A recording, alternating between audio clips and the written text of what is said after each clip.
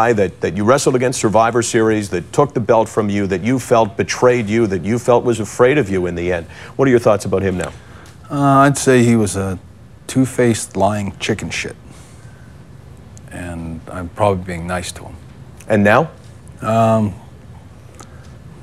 I don't think that's a snake that never changes stripes. Um, Hunt, uh, Shawn, he was the kind of guy that would make fr friends with you or bury the hatchet with you 10 minutes later, and 10 minutes later he'd be out there stabbing you in the back again. He, you couldn't make peace with him. You know, he was, uh, he was a guy, and the guy that was, a, you know, I think he, he had a, put a new meaning to the word sort of prima donna or self.